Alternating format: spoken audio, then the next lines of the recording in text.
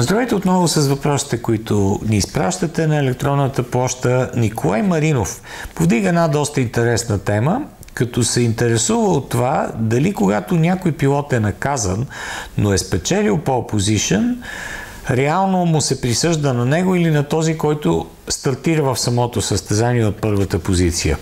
Има предвид последните години на СПА, когато Верстапен или Люклер, примерно, трябва да бъде записан на първа позиция, в зависимост от това кой е спечелил квалификацията и кой е стартира реално от първата позиция.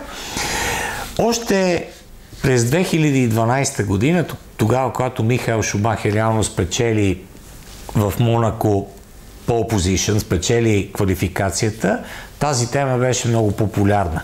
Тогава Михаил беше наказан с 5 места назад заради инцидент в предходното състезание, стартира 6 и този 69-ти пол позишън в неговата кариера всъщност не беше записан в статистиката, остана с 68 първи позиции. Така че отговора на въпроса е, че пол позишън се присъжда и се добавя в статистиката на този пилот, който реално стартира от пол позишън.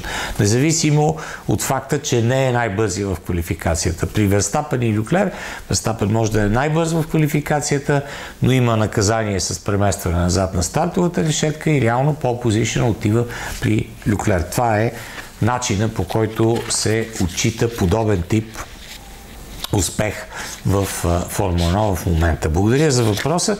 Ще бъдем отново заедно скоро.